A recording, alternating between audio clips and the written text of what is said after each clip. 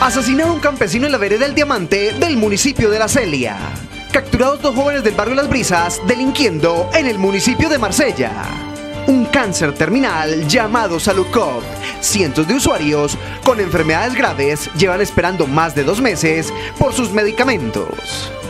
Médico que no le practicó la eutanasia a don Ovidio González explicó que fue la junta médica la que paró el procedimiento por encontrarse el paciente en pleno uso de sus facultades, tanto físicas como mentales.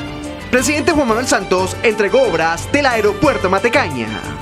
Vicepresidente Vargas Lleras habló de más de 100 mil millones de pesos para vías en Risaralda. Conozca en esta emisión los resultados de la nueva encuesta política para la gobernación de Risaralda. Hoy en la campana.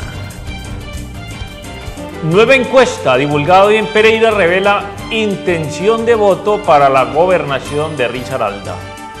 Y en deportes. Noticia positiva para el tenis de nuestro país. Santiago Giraldo avanzó a tercera ronda de Wimbledon tras lesión de Kei Nishikori.